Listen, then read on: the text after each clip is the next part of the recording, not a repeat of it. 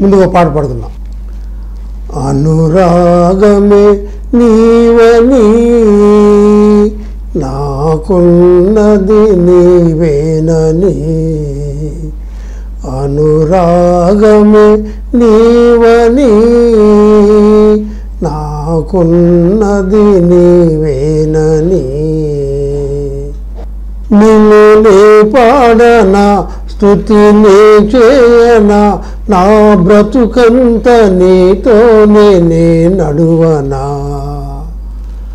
అనురాగమే నీవని నాకున్నది నీవేనని.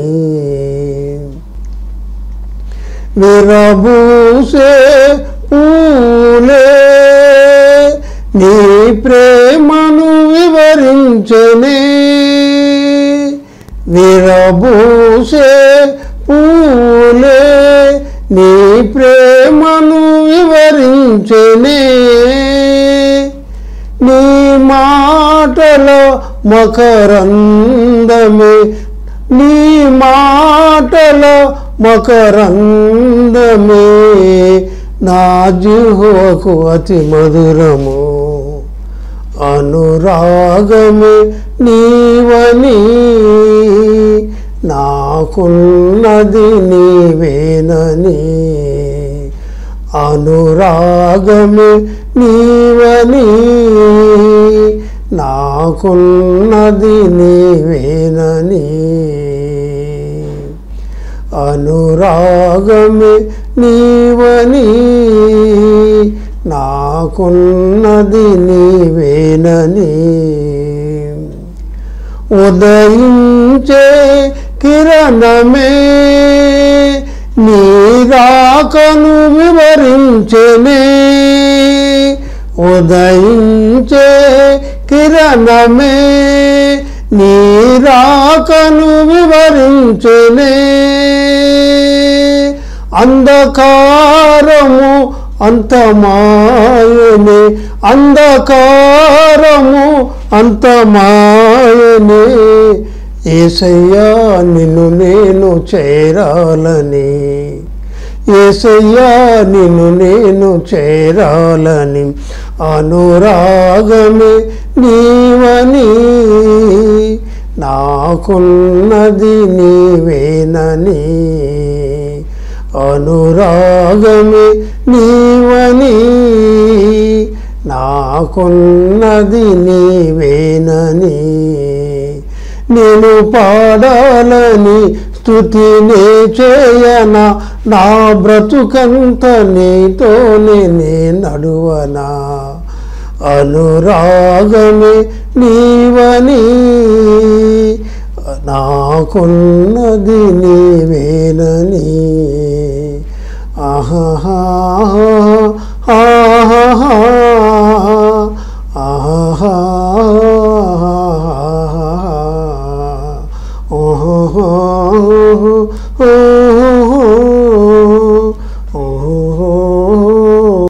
ఇంకా ఆరుగురిని పెంచుకుంటూ ఈ వీడిని కూడా పెంచుకుంటూ స్కూల్కి వెళ్ళక ఇంట్లో చదువు చెప్తూ అంత పెద్ద శాస్త్రవేత్తను చేసిందంటే ఆ తల్లి నిజంగా ప్రిమెంటెంట్ వాళ్ళారా మనం నేర్చుకోవాలి శ్రీలముగా. బిడ్డలను చాలామంది ఒక్కోసారి బిడ్డలు ఫెయిల్ అయినప్పుడు విసుకుంటాం వాళ్ళు సరిగ్గా చదవకపోతే వాళ్ళు చాలా అలర చేస్తుంటే చాలా చాలా విసుక్కుంటాం చాలా మాటలు అంటాం వాళ్ళని. ఆ చిన్న బిడ్డలు వాళ్ళకి తెలియదు అనుకుంటాం. వాళ్ళకి అన్ని మైండ్లో టైప్ అయిపోయి ఉంటాయి. తర్వాత అయినా సరే వాళ్ళు బాధపడతారు. మనం అనకూడదు అసలు ముందు. మన నోటితో పలికేటి మాటలు మన మాటలే వాళ్ళకి దీవెనలుగా మారుతాయి. మనం శపించామనుకో అవి శాపాలుగా మారుతాయి. కాబట్టి మనం ఎప్పుడు దీవెన మాటలేదు పర్లేదమ్మా నువ్వు చదువుకో ఈసారి ఫెయిల్ అయితే ఫెయిల్ అయ్యాలి మళ్ళీ ఈసారి పాస్ అవుతావు. ఇంకొంచెం బాగా కష్టపడు. ఇంకొంచెం కష్టపడితే నువ్వు ఈసారి నీకు ఫస్ట్ ర్యాంక్ వచ్చేస్తా అని చెప్పి మనం ఎంకరేజ్ చేయాలి. అలా ఎంకరేజ్ చేసింది కాబట్టి ఆ చీకట్లో ఉన్న మనకి బాల్బుని కనిపెట్టేటువంటి గొప్ప శాస్త్రవేత్త అయ్యాడు ఆయన. కనుక ప్రేమేంటంటే వాళ్ళ ఈవిడ కూడా ఈ నాబాల మీద ఏంటి నువ్వు ఇలా చేసావంట అలా చేసావంట? ఇప్పుడు మనకి చాలా నష్టం వచ్చేసింది. ఆ దావీదు అందరిని తీసుకుని వస్తున్నాడంట మనల్ని చంపేస్తాడంట. మరి ఏంటి అసలు నువ్వు చేసే పనులన్నీ ఇలా ఉంటాయి అలా ఉంటాయి అని చెప్పి ఏం అనలేదు ఆమె. అనకుండా ఆమె ఆమె దావీదుని ఎదుర్కొంటాకి సిద్ధపడింది. ఒట్టి చేతులతో వెళ్ళడానికి ఇష్టపడలేదు. చూడండి ఇక్కడ చాలా పద్దెనిమిదో వచ్చిన చూసినట్టయితే ఆమె చాలా మరి సమకూర్చుకున్నట్టుగా ఉంది. ప్రేమంటేంటి వాళ్ళారా ఇక్కడ మనకి దావీదు అంటే యేసుక్రీస్తు ప్రభు వారికి సూచనగా ఉన్నారు. ఇక వ్యతిరేకతలు ఇక దుర్మార్గతలు ఈ నష్టాలు తీసివేయడానికి మన కుటుంబంలో నరకానికి వెళ్ళటకు సమీపంగా చంపేద్దామని కదా బయలుదేరాడు? చంపేసేయాలని అంత కోపం వచ్చింది ఆయన మాటలో. మరి చనిపోయే స్థితిలో ఉన్నటువంటి మన కుటుంబము మన భర్తలు మన బిడ్డలు మన యొక్క ఇరుగు పొరుగు వారు మన రక్త సంబంధులు ఆ పరిస్థితిలో ఉన్నప్పుడు జ్ఞానవంతులంగా మన నిర్ణయం తీసుకోవాలి. మరి ఆ దావిదను ఎదుర్కోవడానికి ఆ దేవుని ఎదుర్కోవడానికి ఆ దేవుని సంధికి వెళ్ళడానికి అంటే దేవుని సంధికి వెళ్ళి ప్రాధేయపడటానికి రిక్వెస్ట్ చేయడానికి మరి సంజాయిషి చెప్పుకోవడానికి అంటే ప్రార్థన చేసుకోవడానికి దేవుని దగ్గరికి వెళ్ళినప్పుడు మాత్రమే సమాధానంగా ఆయన దగ్గరికి వెళ్ళినప్పుడు మాత్రమే ఈ పరిస్థితిలో అన్నింటిలో నుంచి విడిపించగలడు. లోకంలో ఏది ఏదున్నా ఏది లేకపోయినా ఎవ్వరు పట్టించుకున్నా పట్టించుకోపోయినా ఒక దేవుడు ఉన్నాడు. నిన్ను సృష్టించిన దేవుడు నిన్ను రక్షించిన దేవుడు నీ కొరకు ప్రాణం పెట్టిన దేవుడు. ప్రాణం ఎవరు పెడతారండి ఈ రోజులు? నీ కోసం ప్రాణం పెడతారా? నీ భర్త పెడతాడా? నీ భార్య పెడతాడా? నీ బంధువులు పెడతారా? నీ ప్రాణం పెడతారా ఎవరైనా? నీకోసం ప్రాణం పెట్టిన దేవుడు. రక్తము చిందించిన దేవుడు. సర్వ మానవాళి పాప పరిహారార్థమే అంత బరువును భరించి సిలువను మోసిన దేవుడు. ఆ దేవుడు నీ దేవుడు నీ పాపాన్ని కూడా మోసుకు వెళ్ళాడు దానిలో. నిన్ను క్షమించాడు. ఆయన బిడ్డగా చేసుకున్నాడు. రక్తం ఇచ్చి ఆ ప్రాణం ఇచ్చి కొన్నాడు. అంత గొప్ప దేవుడు ఉన్నాడు నీకు. ఎటువంటి కీడు నీకు వస్తున్నా సరే రేపు వాళ్ళు అందరూ చనిపోతారు. నాబాలు చనిపోతాడు. పనివారందరూ చనిపోతారు. వారు శిక్షకు పాత్రలుగా ఉన్నారు.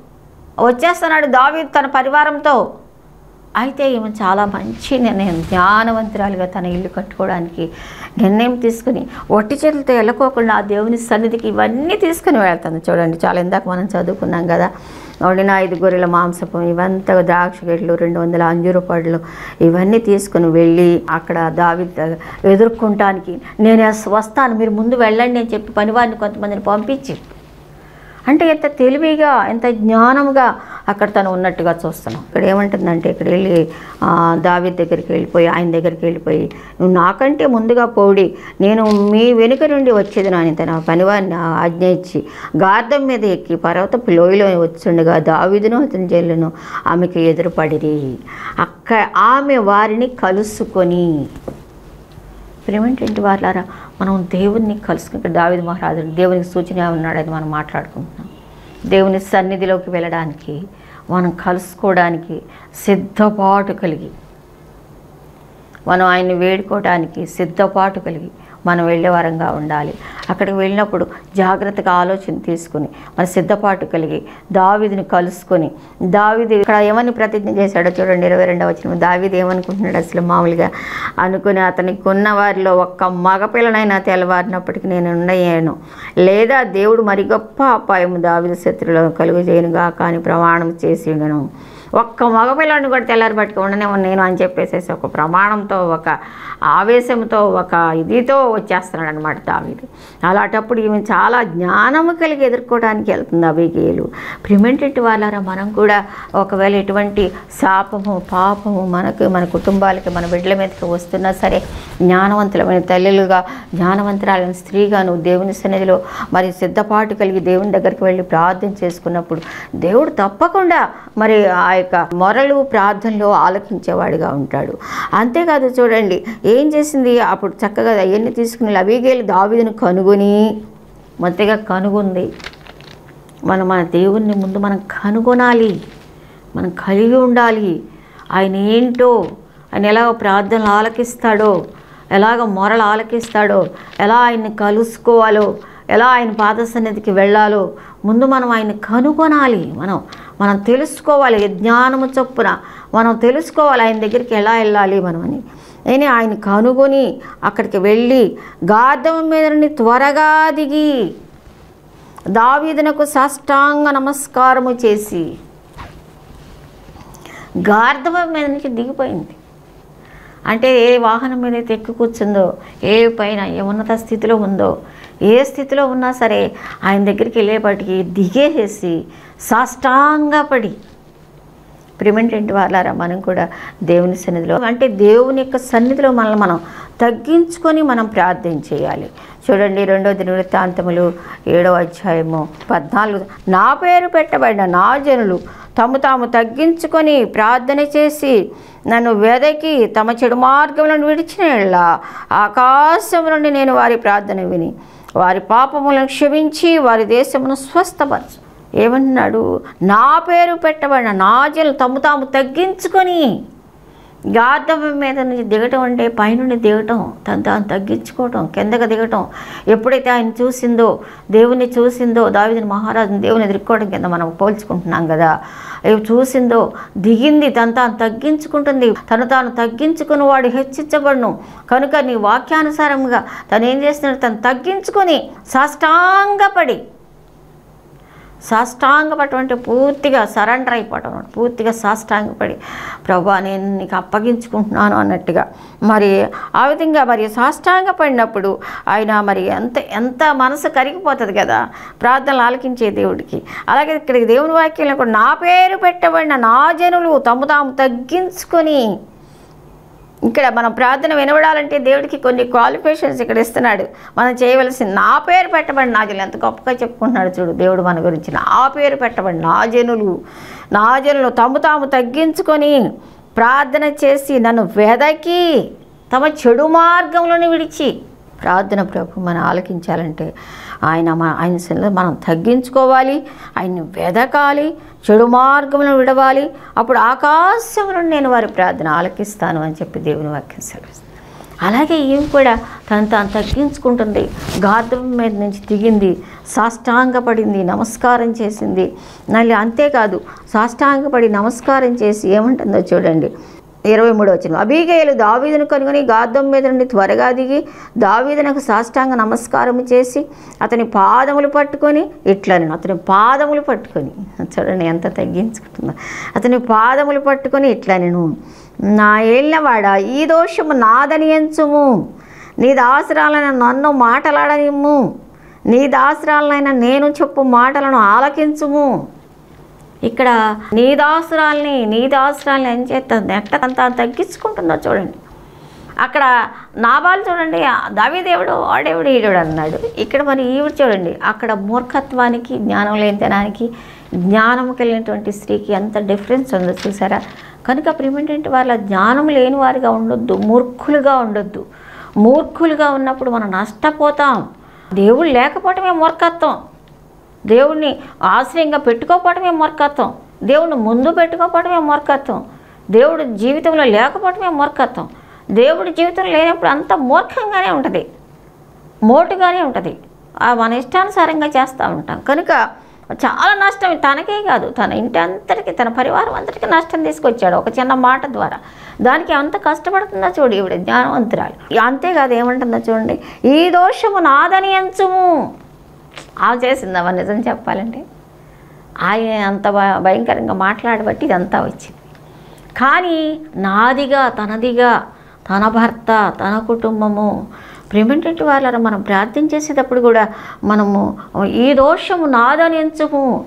చూడండి నెహమ్య గ్రంథంలో కూడా దేవుని వాక్యం ఏమైనా సెలవిస్తుందంటే నెహమ్య గ్రంథంలో కూడా చూడండి ఏమంటాడు? ఆరో వచ్చిన నీకు విరోధముగా పాపం చేసిన ఇస్రాయేల్ కుమారుల దోషము నేను ఒప్పుకొంచున్నాను. నేను నా తండ్రి ఇంటి వారిను పాపం చేశాను. నీకు విరోధంగా చేసిన ఇస్రాయేల్ వారి పాపం నేను ఒప్పుకున్నాను. నేను నా తండ్రి వారి ఇంటి వారిగా పాపం చేశాను. నిజంగా నెహిమ్య పాపం చేశాడా? అంటే ఏంటంటే మనం ప్రార్థన చేసేటప్పుడు అది అది మన దోషముగా ఎంచుకొని మనం దేవుని దగ్గర పశ్చాత్తాపడాలి. ప్రభా వాళ్ళకి తెలిసి తెలియని జనాంగం ప్రభా తప్పు చేశారు ప్రభా. మన బిడ్డలైనా సరే మన భర్త కోసమైనా సరే మన పరివారం కోసమైనా సరే వాళ్ళ కోసం ఇప్పుడు మన ఆఫీస్లో ఎంతోమంది దేవుణ్ణి ఎరగని వారు ఉంటారు. ఏముంది మేము చాలా మంచివాళ్ళం అనుకుంటారు వాళ్ళు? వాళ్ళకి తెలియదు యువ సంబంధమైన దేవత మనోనేతలు గురుడితనము కలుగు చేయించిన దేవుని వాక్యం స్పష్టంగా సెలవిస్తుంది. మరి వాళ్ళకి తెలియదు వాళ్ళకి తెలియకుండానే "ఆ, మేము బాగున్నాం మేము మంచివాళ్ళం అనుకుంటారు. మనోనేతర గురుడితనం కలిగజేస్తుంది. నిజమైన విషయాలు తెలియదు వాళ్ళకి. అప్పుడు మనం ఏం చేయాలంటే మనం వారిపక్షంగా ప్రార్థన చేయాలి. ప్రభు వాళ్ళకి తెలియదు నాయన. కుడి ఎడమలు తెలియని జనం నాయన. అమాయకులు ప్రభు నీ విషయాలు తెలియట్లేదు ప్రభు. యువ సంబంధమైన దేవత గురుడితనం కలిగజేస్తున్నాం దయతో క్షమించండి. వారి పాపాలు క్షమించండి ప్రభా. వారి మనోత్తరాలు వెలిగించండి ప్రభా. నేను తెలుసుకునేలా సాయం చేయండి ప్రభా అని మనం ప్రతిరోజు ఆయన వాళ్ళ గురించి ప్రార్థన చేయాలి. నేను కూడా నా జీవితంలో చాలామంది కోసం అలా ప్రార్థన చేసి మేళ్ళు పొందుకున్న. ఈ దినాన చక్కని మంచి దేవుళ్ళలోకి రావడం వాళ్ళు కొంతమంది దైవ సేవకులు అవడం మరి నేను నా కల్లారా చూస్తున్నాను. ప్రివెంటెడ్ వారా దేవుని సంధికి వెళ్ళి మనం ప్రార్థన చేసినప్పుడు దేవుడు త్రోసివేయడు. ఇంకా చాలామంది కోసం ప్రస్తుతం ప్రేయర్ చేస్తున్నా. తప్పకుండా దేవుడు చేస్తాడని అద్భుత కార్యాలు చేస్తాడని నాకు నమ్మకం ఉంది విశ్వాసం ఉంది. ఇక్కడ కూడా అభిగేయులు కూడా చాలా ఇదిగా తను తను తగ్గించుకొని దేవుని దగ్గరికి వచ్చి ప్రార్థన చేస్తూ ఉంది. దావీదు అంటే దేవుడు అని మనం అనుకుంటున్నాం కదా. దావీ దగ్గరికి వచ్చి ప్రణామం చేస్తూ ఉంది. మరి సాగిల పడుతూ ఉంది. నమస్కారం చేస్తూ ఉంది. ఈ తప్పు నాదనించయ్యా దయతో నన్ను క్షమించండి అని చెప్పేసి తను బ్రతిమలాడుకుంటా ఉంది. తెల్లవారినప్పటికీ ఒక్కళ్ళని కూడా ఉండొద్దు అనుకున్నాను. నువ్వు వచ్చి నువ్వు ఇలా చేస్తున్నావు అని చెప్పేసేసి ఇరవై మూడులో అభిగేలు దావీదిని కనుగొని గాదుమైన దిగి దావీదికి సాష్టంగా నమస్కారం చేసి అతని పాదములు పట్టుకొని ఇట్లా నా ఏళ్ళవాడా ఈ దోషం నాదని ఎంచుము. నీ దాసరాల నన్ను మాటలాడనిమ్ము నీ దాసురాలైన నేను చెప్పు మాటలను ఆలకించుము. నీ దాసరాలని నీ దాసురాలని అని చెప్పి చక్కగా అక్కడ మరి తను తను తాను తగ్గించుకుని నేను దాసురాలని నేను దాసురాలని నేను సర్వెంట్ని అయ్యా అయ్యా నన్ను క్షమించండి అని చెప్పేసి.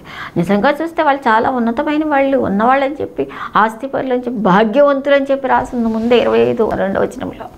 కానీ ఇక్కడ వచ్చేపాటికి తను తాను తగ్గించుకుని దయతో మన్నించండి అని చెప్పి ఈయన పాదాలు పట్టుకుని అడుగుతున్నప్పుడు ఆయన చక్కని మరి జవాబుతో ఇక్కడ దాసరాలని దాసరాలని చెప్పినప్పుడు ఆయన చాలా చక్కగా యాక్సెప్ట్ చేసినట్టుగా సెలవిస్తూ ఉంది. అప్పుడు దేవుని ప్రేమేంటి వాళ్ళటువంటి ప్రార్థన మనం మన కుటుంబాల కోసం మన బిడ్డల కోసం మన భర్త కోసం మన పరివారం కోసం మన ఇరుగు పొరుగు వారి కోసం మన ఆఫీసుల వారి కోసం వారు ఎవరన్నా కాక నిజమైన భారం నీకుంటే వాళ్ళని తప్పించాలని జ్ఞానం నీకుంటే జ్ఞానముతో తన ఇల్లు కట్టుకుంది ఈ స్త్రీ. జ్ఞానము చొప్పున తన పరివారాన్ని తన అందరినీ కూడా రక్షించుకుంది ఈ స్త్రీ. అలాగే మనం కూడా జ్ఞానం కలిగి ఉండాలి. జ్ఞానం కలిగి ఉన్నప్పుడు అప్పుడు దేవుని అక్కడికి వెళ్ళినప్పుడు దావి దగ్గరికి చూడండి ఎంత మంచి మాటలు మాట్లాడుతున్నాడో. ఇరవై ఎనిమిదో వచ్చినంలో నీ దాసరాలైన నా తప్పు క్షమించమని కూడా అంది కదా ఇరవై ఎనిమిదో వచ్చినంలో అప్పుడు ఆయన ఏమంటున్నాడంటే చక్కని ప్రత్యుత్తరం ఇస్తా ఉన్నాడు. ముప్పై మూడో వచనం చూడండి.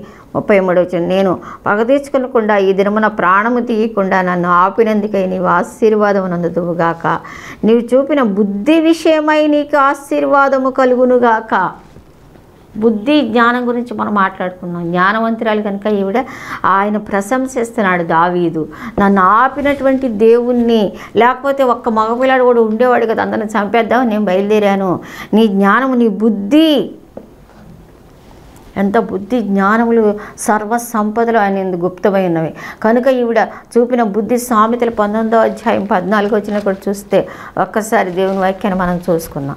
సామెతల గ్రంథము పంతొమ్మిదో అధ్యాయం పద్నాలుగు వచ్చిన చూసినట్టే చూడండి. సుబుద్ధి గల భార్య యహోవా ఎక్కదానం సుబుద్ధి బుద్ధి అనేది దేవుడు ఇచ్చాడు. ఆ బుద్ధి అక్కడ చూపించబట్టి మరి చక్కగా ఆవిడ ఆ ప్రమాదం నుంచి తన వారిని అందరినీ కూడా మరి బయటకు తీసుకొచ్చినట్టుగా దేవుని వాక్యం సెలవిస్తూ ఉంది. అంతేకాదు నువ్వు త్వరపడ్డావు ముప్పై నాలుగు వచ్చిన ఏమంటున్నాడు. నువ్వు త్వరపడి నన్ను ఎదుర్కొనగా పోయినాడలా నీకు హాని చేయకుండా నన్ను ఆటంకపరిచిన ఇస్రాయల్ త్వరపడింది. ఎప్పుడైతే పనివారు చెప్పారో ప్రిమినెంట్ వాళ్ళారా మనం? ఇతరులను రక్షించుకోవడానికి మన పరివారాన్ని రక్షించుకోవడానికి మన భర్తను వారు మన బిడ్డలను రక్షించుకోవడానికి మనం త్వరపడే వారంగా ఉండాలి. జాగ్రత్త. వెంటనే చురుకుదనము. చురుకుగా ఉండటం గొప్ప భాగ్యము. చురుకుగా ఉండాలి. జ్ఞానవంతురాలు. నా సోమర్తనంగా ఉండకూడదు. ఆ పర్వాలేదులే అన్నట్టుగా ఉండదు. అజాగ్రత్తగా ఉండకూడదు. నిర్లక్ష్యంగా ఉండకూడదు. ఇప్పుడు త్వరపడింది. ఎప్పుడైతే ఆ వార్త విందో వెంటనే అమ్మో ఏమైనా సరే నేను కలుసుకోవాలి ఆయన్ని. ఇదిగో ఇవన్నీ తీసుకెళ్ళిపోయి నేను కలుసుకొని ఆయనకి ఇచ్చి నేను సాష్టాంగపడి ఈ తప్పు నాదని అని క్షమాపణ అడగాలి అని త్వరపడింది. మనం కూడా ఆ పర్లేదులే బాగానే ఉన్నాయిలే పరిస్థితులన్నీ బాగానే ఉన్నాయి ఆడే రక్షణ పొందుతాడులే ఆడే తెలుసుకుంటాడులే ఆ ఏముంది ఇప్పుడు పిల్లలందరూ ఇట్టగా ఉంటున్నారులే అవనస్తులు ఇంతే అని మనం మళ్ళీ మనం సర్ది చెప్పేసుకోకూడదు. మనం దేవుని సన్నిధిలో ముందుకు వెళ్ళాలి. దేవుని సన్నిధిలో మనం ముందుకు వెళ్ళి దేవుని సన్నిధిలో త్వరపడాలి. ప్రభా అయ్యో ప్రభా నా బిడ్డలకు రక్షణ పొందలేదు నాయన. అయ్యా వాడికి జ్ఞానం ఇచ్చావు తెలియచక చదువుకుంటున్నాడు కానీ అయ్యా దేవుని నిన్ను ఎరగని వాడిగా ఉంటున్నాడు. ప్రభా అయ్యో ఆయన దేవుని తెలుసుకోకపోతే ఏముంది? ఎంత జ్ఞానం ఉన్నా ఎంత సంపద ఉన్నా లక్ష రూపాయలు రెండు లక్షల నుంచి సాలకి తెచ్చుకుంటున్నా దేవుని తెలుసుకోకపోతే వాళ్ళు చనిపోయారనుకోండి నరకంలోకి వెళ్ళిపోతారు కదా. యేసుక్రీస్తు ప్రభుని అంగీకరించారనుకోండి వాళ్ళు సామాన్య జీవితాలు జీవిస్తున్నారు పర్లోక పరలోక రాజ్యంలో ఉంటారు ప్రభు వస్తే. అది మనకి మనం ఎప్పుడు కూడా ఆ దృష్టితో మనం చూసుకోవాలి. దేవుని బిడ్డలంగా ఏసు రక్తంలో కొనబడిన వరంగా మన గోల్ ఎప్పుడు మన గురి ఎప్పుడు పైన వాటి మీదే ఉండాలి. మరి కనుక ఆమె త్వరపడిందని చెప్పి తనతో ప్రశంసిస్తున్నాడు నువ్వు చాలా తొందరపడి రాకపోతే కనుక నేనే వచ్చేసేవాడిని చనిపేసేవాడిని నేను చెప్తున్నాను నువ్వు తొందరపడ్డావు త్వరపడి వచ్చావు. ప్రేమేంటంటే వాళ్ళరా మనం కూడా మన విషయాలు త్వరపడాలి. మన కుటుంబాల గురించి మన బిడ్డల గురించి మనం త్వరపడే వాళ్ళంగా ఉండాలి. అంతేకాదు తను తెచ్చిన ఈ యొక్క ఇవన్నీ కూడా తీసుకోండి అని చెప్పేసి చాలా బతిమాలుతుందనమాట సరే అవన్నీ తీసుకున్నాడు. అప్పుడు ఏమంటున్నాడంటే అక్కడ అంటే ఏంటంటే తను ఎంత ఇదిగా చేసుకున్నప్పుడు ఈ పరిస్థితులన్నీ చూసుకుంటున్నప్పుడు తనకు సమర్పణ కావాలి. ఇదంతా మరి త్వరపడి మనం ఉపవాస ప్రార్థనకి వెళ్ళాలన్నా కడుపు కట్టుకోవాలన్నా మరి ఒక ఆత్మరక్షణ గురించిన భారం కలిగి ఉండాలన్నా అయ్యో వాళ్ళు నశించిపోతున్నారనే భారం మనకు కలిగి ఉండాలన్నా మనం కొంత సమర్పించుకోవాలి. మనం కొంచెం సాక్రిఫైస్ చేయాలి. మనం సాక్రిఫైస్ చేస్తేనే వాళ్ళు రక్షణ పొందుతారు. మనం సాక్రిఫైస్ చేస్తేనే ఆమె ఎన్ని ఆలోచించుకోవాలి ఇంట్లో పనులన్నీ వదిలిపెట్టేసింది. అవన్నీ పక్కన పడేసింది. ఇదేంటో చూడాలనుకుంది. ఈ విషయం ఏంటో పట్టించుకోవాలనుకుంది. ఈ విషయంలో శ్రద్ధ కలిగి ఉంది. ఈ విషయంలో త్వరపడింది. మనం కూడా మరి సమర్పించుకుని త్వరపడాలి. చూడండి ఎస్తేర్ కూడా ఎస్తేర్ గ్రంథం నాలుగో అధ్యాయంలో కూడా చూసినట్టే ఏమంటుందంటే ఇక్కడ అక్కడ ఆ జనాంగం అంతా నశించిపోతారని తనకి ఎప్పుడైతే తెలిసిందో తను చాలా మరి బాధపడుతున్నట్టుగా అప్పుడు ఏమంటే పదహారు వచనంలో నీవు పోయి శుషానందు కనబడిన యూదులందరినీ సమాజ మందిరమునకు సమకూర్చి నా నిమిత్తం ఉపవాసం ఉండి మూడు దినములు అన్నపానములు చేయకునుడి. నేను నా పనికత్తెలను కూడా ఉపవాసం ఉందము ప్రవేశించటం న్యాయ వ్యతిరిక్తముగా ఉన్నాను. నేను రాజునందుకు ప్రవేశించదు నేను నశించినా నశించదు. మనకు ఆ కమిట్మెంట్ కావాలండి. మనకు ఆ సమర్పణ కావాలి. ఒక ఆత్మ రక్షించబడాలి అంటే ఒక ఆత్మ నరకము నుండి పరలోకను దాటించబడాలి అంటే వారెవరైనా కాక వారి గురించిన ముందు కన్సర్న్ ఉండాలి. భారం ఉండాలి. ఒక ఆత్మ రక్షించబడటానికి ఒకనాటి ప్రసవ వేదన చాలునా అంటున్నాడు. ఒక్కరోజు చాలదు. ఒకరోజు చేస్తాం మళ్ళీ ఇంకో రోజు మానేస్తాం. అలా చేయకూడదు. కంటిన్యూస్గా వారు రక్షణ పొందే వరకు వదలకుండా మనం చేస్తానే ఉండాలి. వాళ్ళు దేవుని పాదాలు పట్టుకుని వేడుకుంటూనే ఉండాలి. దానికి సమర్పణ కావాలి. నా నిమిత్తం మీరు ఉపవాసం ఉండండి. మీరు అందరూ నేను రాజు దగ్గర ప్రవేశించట న్యాయ వ్యతిరిక్తమైనను న్యాయం కాకపోయినా ఒక్కోసారి ఒక్కోసారి పరిస్థితులు ప్రతికూలంగా ఉన్నా రాజు దగ్గరికి వెళ్తే ఒకవేళ నష్టపోయినా ఒకవేళ బంగారు దండం చూపిస్తాడో మరణదండం చూపిస్తాడో ఏదైనా సరే నేను సమర్పించుకుని వెళ్తున్నా. నా కోసం మీరు ప్రార్థించండి. నేను నశించినా నశించిన. పోలేనా పర్లేదు.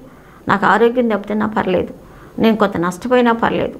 నాకు కొన్ని పనులు ఆగిపోయినా పర్లేదు. ముందు ప్రార్థనకు మాత్రం వెళ్ళాల్సిందే ప్రేయర్ చేసి రావాల్సిందే. ఆ టైం నేను దేవుని కనపడాల్సిందే. నా దేవునికి నేను కనపడాల్సిందే. నా దేవునికి నేను విజ్ఞాపన చేసుకోవాల్సిందే. నా దేవునికి నేను చెప్పుకోవాల్సిందే. ఇదిగో ఆత్మరక్షణ కోసం ఇదిగో వాళ్ళ కోసం నేను మొదలుపెట్టాను ప్రేయర్ ఇదిగో వీళ్ళ కోసం నేను మొదలుపెట్టాను ప్రేయర్ వారి రక్షణలోకి రావాల్సిందే. వాళ్ళ కోసం నేను విజ్ఞాపన చేయాలి. సమర్పణ మనకు కావాలి. ఒక సమర్పణ లేకుండా ఒక ఆత్మ రక్షించబడదు. మరి ఆయన సమర్పణ చేసుకోబట్టే ప్రజలందరి పాపం మీద వేసుకుని సిలువలో మరణించబట్టే మనం రక్షణ పొందాం. మన పాపాలకి విముక్తి క్షమాపణ. అలాగే ఈ దినాల్లో మనం కూడా మనకి ప్రజలు మన రక్షణలోకి రావాలి. ఆ సత్యం తెలుసుకోవాలంటే ఊరికే తెలుసుకోరు. మనం కొంత సమర్పించుకుని దేవుని పాదాలు పట్టుకుని బ్రతిమలాడుకోవాలి. మన భర్త అయినా మన భార్య అయినా మన బిడ్డలైనా. మరి కనుక అలా చేసినప్పుడు తప్పకుండా దేవుడు అప్పుడు ఏమంటున్నాడు చూడండి ఇక్కడ. ఆ మొదటి గ్రంథానికి మనం వెళ్ళిపోతే ఇక్కడ చూస్తే ఏమంటున్నాడంటే ఆయన ఇరవై ఐదో అధ్యాయంలో తన యుద్ధకు ఆమె తెచ్చిన వాటిని ఆమె చేత తీసుకొని నీ మాటలు నేను అంగీకరించి నీ మనవిని అంగీకరించి తిని సమాధానముగా నీ ఇంటికి పొమ్మని ఆమెతో చెప్పాను.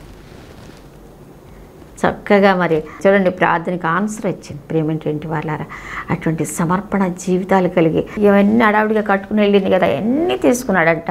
సరే అలాగే నన్ను ఎన్ని చేయకుండా నా ఆపిన దేవునికి స్థుతి నందును గాక అని చెప్పి మాట్లాడుతూ నీ మాటలు అంగీకరించాను నీ మనవి నేను అంగీకరించాను సమాధానంగా వెళ్ళు అని చెప్పేసి.